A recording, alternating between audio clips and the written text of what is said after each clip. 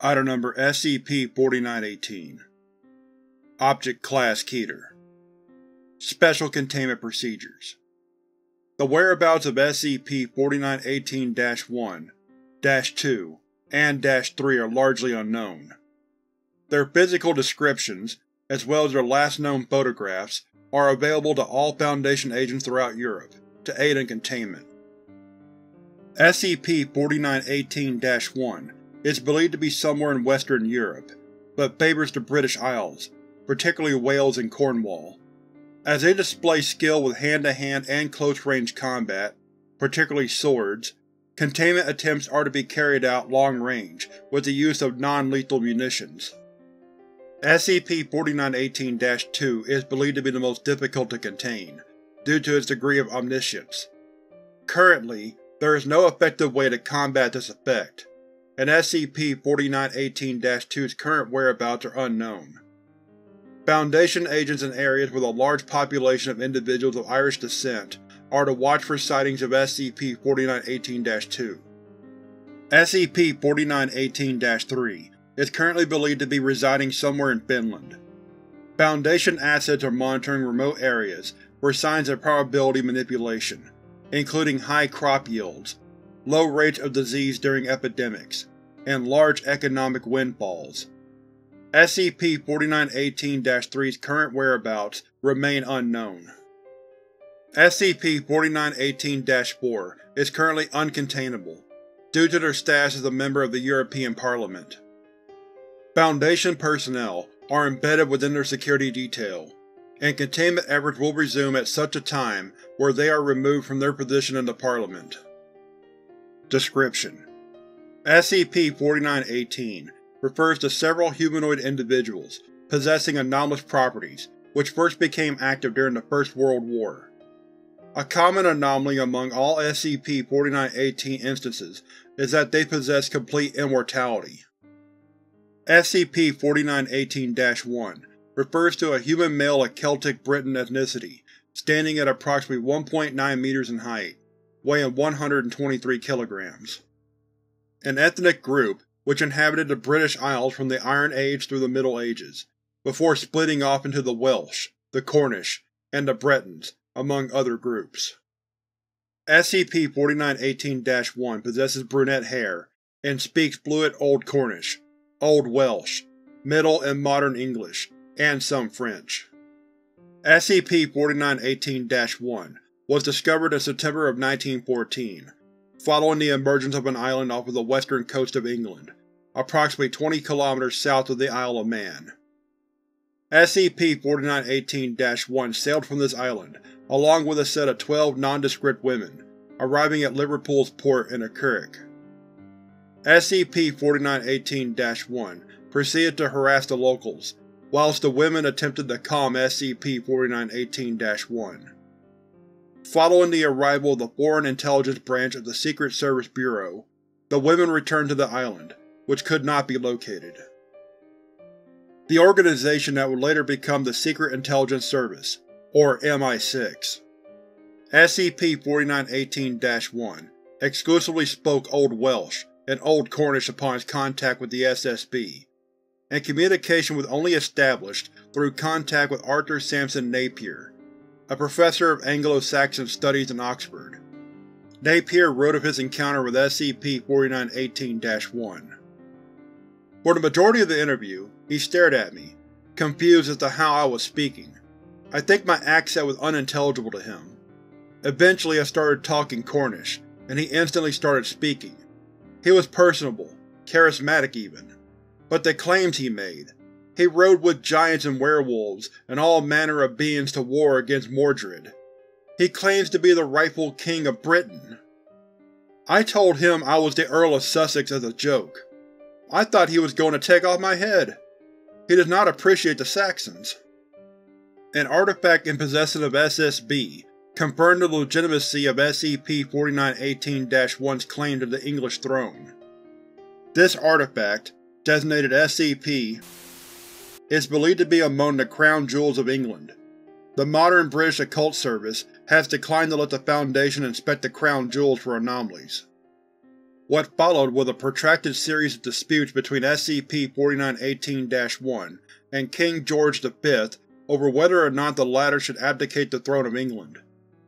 SCP-4918-1's claim appears to be related to the fact that they neither died nor abdicated their throne, and the country functioned on the assumption they had died. Furthermore, the artifact in question only claimed that SCP-4918-1 had a valid claim to the throne of Britain, and not the throne of the United Kingdom of Great Britain and Ireland, and all of its colonies. Again, Napier writes, I sat in on another audience between the two kings. It's clear that His Majesty is afraid. His knuckles were white from clutching the arms of his chair. His Majesty got the throne through pure luck, and there have been claims upon claims doubting his legitimacy. Arthur is more charismatic than His Majesty can ever hope to be. He has a presence about him that tells me that he was raised in a different time, but his wisdom is timeless. Still, His Majesty has experience with the modern world, Britain, and all of its empire. Arthur was alarmed by the prospect of the Empire being so large that it touched all corners of the world. A sample of the exchange which took place. HM People don't expect a chivalrous king, not in wartime. We must be pragmatic. We cannot afford honor, not when we've my cousin's army to contend with. Kaiser Wilhelm II was the first cousin of King George V. A. I know nothing of chivalry. I know of honor, and the fact that you have your arse on a padded seat instead of in a saddle, riding to battle alongside your men, is enough for me to know that you are not a king. In December of 1914, SCP-4918-1's efforts to claim the throne of England ceased. Napier notes that this is most likely due to the fact that SCP-4918-1 would not have been able to both govern and participate in active combat. SCP-4918-1 is listed as Arthur in official British military records, having taken part in several military operations during the course of the First World War as a cavalry officer. SCP-4918-1 recorded as fighting exclusively with a long or broadsword, and rode upon a brown mare, which reportedly possessed anomalous properties. A report of these anomalous properties is recorded in a letter from John to his wife Edith, prior to his seizure due to the British Army's censorship practices. Arthur has always been a queer fellow. Abnormally lucky, his horse Lamarelle seems to ride between minds, and he speaks English as if he were out of time. He's taught me some of his tongue, and it is fascinating. He even produced a copy of Sir Gawain and the Green Knight, though he informs me the incident in question actually happened to a Sir Kay, as a joke by Arthur's half-sister. I'm sure it is the fever causing me to hallucinate, but Arthur seems to have strange properties about him. When he ran over the trenches, he took at least 20 rounds to the chest from a machine gun, and he kept running. When he returned, not even his clothes were torn. It must have been a dream. Others say they have seen him shot through the skull, only to stand a second later. This man is fascinating, as is the work he has presented me with. He has told me to keep the book, as a gift, and he's also told me to seek something called Beowulf, which a friend in the army recommended to him. Officially, Arthur died in 1976. In 2015, a video appearing to depict SCP-4918-1 at Dosmary Pool in Cornwall was taken by a tourist. The transcript of that video is below. Nimue! SCP-4918-1 splashes at the water. Come out here, you fairy bitch! SCP-4918-1 throws something into the water. It appears to be a large piece of iron. I've been out here 100 years, and you don't even have the decency to give me back my sword? I fought without it by my side. I watched people suffer. I could have saved them if I had Caliburn. What the hell? He's probably high on something.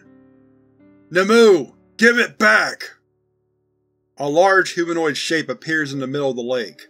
It appears to be made out of water. Large amounts of digital static appears on the film. What the fuck? I don't have it anymore, Arthur. What do you mean?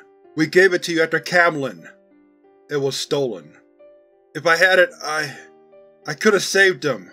You could have given it to me. You thought you could be a hero if you wielded Caliburn? Europe was a Charnel house. A sword would not have changed that. The unknown entity turns to look at the tourist. The footage after this point is corrupted beyond recovery. SCP-4918-2 is an Irish male. SCP-4918-2 measures 2.1 meters in height, weighing approximately 131 kilograms. SCP-4918-2 possesses white hair, and a burned scar on the right thumb, which is believed to have anomalous properties. Specifically, this scar confirms a limited form of omniscience when it is in contact with SCP-4918-2's mouth. SCP-4918-2 commands a small army of Irish individuals, both male and female, collectively designated SCP-4918-2A. All SCP-4918-2A instances, as well as SCP-4918-2 itself, ride an unknown, possibly extinct breed of horse, and show experience with a wide variety of weaponry. SCP-4918-2 manifested during the Gallipoli campaign. An unknown soldier, likely of Irish descent, was seen blowing a hunting horn prior to being shot and killed by Ottoman forces. Following this, SCP-4918-2 and several -2A instances were seen tending to the dead and wounded, as well as loading all corpses onto horses. The following is an account of an Irish soldier who discovered SCP-4918-2 instances tending to the wounded. We had heard the horn about half an hour before we saw the riders. I nearly caught an arrow in the face for startling them. They shouted out a warning in Gaelic. Friend or foe the Fianna, they asked. Friend, I told them. They looked at the other two survivors of my company, Prajir and Alan, and ushered us over. Blood and muck splashed around our feet. These men and women, they looked out of time. Some had woad on their skin that was running, as if they had rode through a rainstorm. The Fianna, they had called themselves, heroes, one and all. But there was no cries of joy at the defeat of an enemy, because the enemy wasn't defeated. All that were here were bones, trampled underfoot. A man, large and bearded, held one of the corpses, I recognized the soldier from glimpses traded over the canteen table. He could have been the Weeping Man's son. The same eyes, same nose, same hair, and laying at his side was a broken horn. Looking over the sea was a man with white hair, his hand clutched around a spear. I approached him, unsure if I should bow or not. He looked at me and asked one thing. What is it you desire now, more than anything? Revenge against the Butchers? Victory in this battle? The wealth of a nation? I just replied that I wanted to see my mother. We all did. Alan had joined the army young, and none of our letters were getting through. A noble goal, he replied. He grabbed me by the arm and swooped me up onto his horse. The other survivors were asked where they lived, but somehow he knew. Finn knew my mother. The sky blurred. Stars spiraled above, and the wind blew mud from my face. I slept, and when I awoke, my mother's arms were wrapped around me, and she was sobbing. Sightings of SCP-4918-2 are the least common among SCP-4918 instances. Reports of SCP-4918-2A instances riding into battle alongside British cavalry have been corroborated but SCP-4918-2 itself was not seen again until the Irish War of Independence occurred in 1919. A stone tablet recovered outside of Dublin in 1949, believed to have been inscribed by SCP-4918-2, reads as such. When I was young, my mothers taught me the ways of the sword and the ways of magic. I love them, and I weep for them. If they could see the world as it is now, how Era and Albion and the rest of it has suffered. They would have kept me secluded in a cave for my whole life. I do not curse the man who blew the Dord Fiann. He was terrified, and he called for help the only way he knew how. We rode to his side, and for weeks after, our horses' feet were stained by blood. I could not stand by and watch. It was sickening, what was occurring. I, Finn McCool, am a coward. I cannot watch the senseless suffering, even if it means that I can help those who suffer. Adar called me in its time of aid, and I answered. I will not answer again. SCP-4918-2 has reportedly been sighted throughout the New England region of the United States, among areas where individuals of Irish descent have populated. SCP-4918-3 is an elderly male human, purportedly of Finnish heritage, standing at approximately 1.5 meters in height, weight unknown. A sample of SCP-4918-3's DNA, recovered from a lock of hair given to a Finnish soldier, shows genetic links to every other individual of Finnish descent. The implications of this are unclear. SCP-4918-3 possesses gray hair with a gray beard. SCP-4918-3 is described as being in possession of a kantele, and wears garments made of bear pelts. A string instrument with origins in Finland. SCP-4918-3 was first sighted in the port of Helsinki on December 31, 1917, sailing into the port of Helsinki while playing their kantele. SCP-4918-3 proceeded to conduct a New Year celebration in a small tavern in Helsinki. This building has shown anomalous properties in the intervening years. Following the commencement of the Finnish Civil War in January of 1918, SCP-4918-3 acted as a beneficent party to both the Socialist Democratic Red Guard and the German-backed White Guard. During the Battle of Helsinki, SCP-4918-3 appeared on the rooftops throughout the city, singing a song with thaumaturgical properties. This song is believed to be a retelling of the Kalevala, and its thaumaturgical effects were only evident on individuals of Finnish descent. German forces which landed in the area were unaffected. SCP-4918-3 song caused probabilistic anomalies to take place. Bullets that would otherwise have missed their targets instead ricocheted and hit. Shots that should have been fatal caused minor injuries. Grenades failed to detonate. However, due to the fact that both sides of the Battle of Helsinki were affected by SCP-4918-3, it is unknown exactly how much its outcome was affected by SCP-4918-3's presence.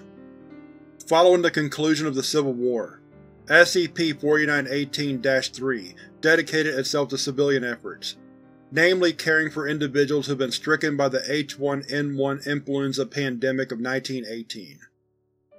SCP-4918-3 would visit the most affected areas of Finland, reciting poetry and singing to individuals in which symptoms of pandemic flu had manifested. Several of these individuals made a complete recovery within weeks of SCP-4918-3's visit. A priest in Inari wrote this about SCP-4918-3 in a letter to their brother. I am a Christian. I believe in God. I believe in Jesus Christ and the saints. I have been praying over the beds of dozens of those who come in, coughing fluid from their lungs, dying, miserable. Some have tried to take their lives, but are too weak to tie a noose. I do not know if this man that has come is a servant of God. He presents himself as a bard, playing his kantele, and singing of the Sampo, and of great exploits that he has done. A magical item present in the Kalevala, which serves as a good luck charm. The exact nature of the Sampo is unknown. He paints himself as a folk hero, a jester, but somehow they improve. I saw a child, who had been turning blue for the last three days, stand up and start dancing with him, Lungs that could barely breathe the day before sang and laughed. Hands that popped like cereal and milk were writing letters to their parents. If I have just witnessed a miracle, I do not know what to say. A man who looked older than the earth below me sang a song, and others danced to its tune. I do not know if he is divine, or devilish, but he saved so many. SCP-4918-3 was sighted during the Winter and Continuation Wars. Following this, sightings have been sporadic. SCP-4918-4 is Holy Roman Emperor Frederick Barbarossa, appearing as he did on the date of his death in 1190. SCP-4918-4 was recovered in Bavaria in 1914, being led down from a mountain by a child of German descent, bemoaning the absence of ravens. SCP-4918-4 was brought to Kaiser Wilhelm II, who appointed SCP-4918-4 as a military advisor. SCP-4918-4 spoke modern German upon its discovery, evidently through anomalous means. SCP-4918-4 was reportedly reluctant to aid Wilhelm II, to the point of entering physical altercation at least four times during the course of World War I. The following recounts General Ludendorff's observations of a meeting in Berlin in early 1915, where SCP-4918-4 was present. It was clear neither the Kaiser or His Holiness were happy. Frederick had a bloodied nose, though it had healed so quickly that I could only see bloodstains in his beard, and the Kaiser had a bruised eye.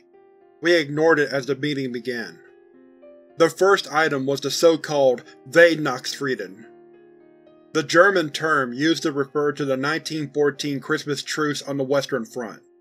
We assured the Kaiser it would not happen again, but His Holiness scoffed. They spent a few nights getting fat on sausages and warming their stomachs with coffee. It's essentially what Wilhelm does every day. Should we begrudge his troops for wanting to live like their emperor? Thankfully, I managed to have a coughing fit this time, concealing my humor. SCP-4918-4 appears to have privately written satirical documents critical of the war, which were published in Allied territories.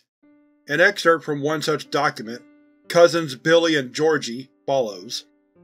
Cousin Georgie has lots of toy boats. Lots and lots of toy boats. Big boats, small boats, short boats, tall boats. He has a variable navy. Cousin Billy doesn't have any boats, and he doesn't have any money to buy them. So, when Cousin Ferdinand gets sick, he decides to ally himself with Cousin Carl to get money to buy some boats. But Cousin Georgie doesn't like Cousin Carl, so now Cousin Billy has a lot of boats, and Cousin Georgie and Cousin Billy are breaking their own toys to spite each other. SCP-4918-4 is the only remaining SCP-4918 instance who is known to be active. Their whereabouts were previously unknown, but in 2016, they re-emerged under the pseudonym Frederick Bismarck, a member of the European Democratic Party, shortly prior to their election to the European Parliament. Due to their prominence in the Parliament, as well as several treaties and agreements made with the Global Occult Coalition and various anomalous monitoring organizations of EU member countries, containment is currently infeasible. However, in November of 2018, Foundation assets posing as journalists from the Daily Telegraph were able to conduct an interview with SCP-4918-4. I'm glad we could meet, Herr Bismarck. Bitte. Call me Frederick. You may not be in the EU for much longer, but I still like to be on a first-name basis with as many citizens as I can. You rose to prominence fairly recently. It's hard to find much evidence of you existing before 2016. Yes, well, I've got a rather lengthy family line, from all the way back to the Holy Roman Empire, until the First World War. Around the time Hitler came to power, my family fled for England. SCP-4918-4 interrupts Agent Pullman's next question. I believe it is time that we, how do you say, cut the bullshit. I'm sorry? And now I know you're spewing bullshit. If you had said something such as, I agree, Let's talk about your policies, or what are your thoughts on the state of the world? Then you wouldn't have blown yourself. Now, who are you really?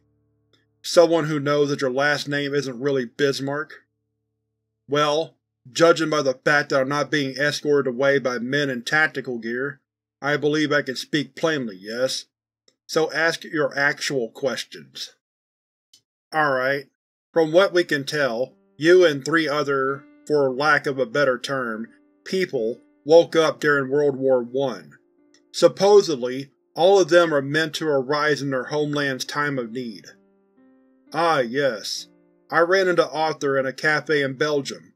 Nice man, but he's still having trouble adapting to the times. You're aware of the others?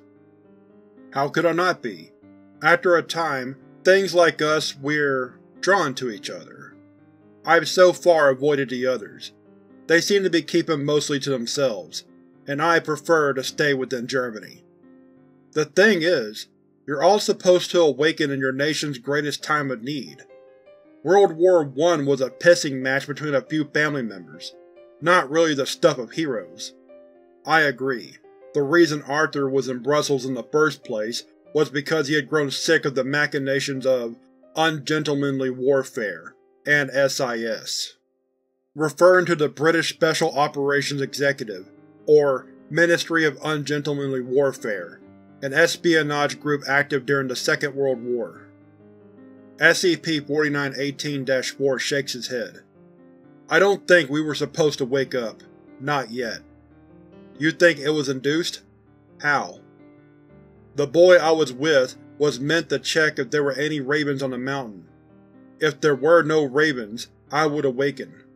I went back to the mountain after the war, hoping to rest. I found the corpses of hundreds of ravens, shot dead by German bullets.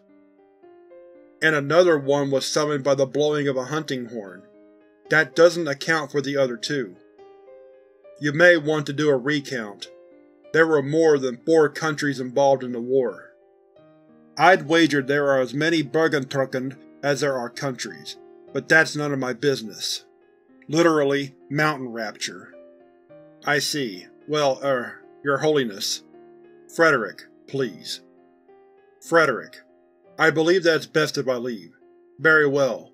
Oh, and if you run into Sir Francis, tell him that he still owes me for that boat of mine he sank. Sir Francis Drake? And I have said too much. End log.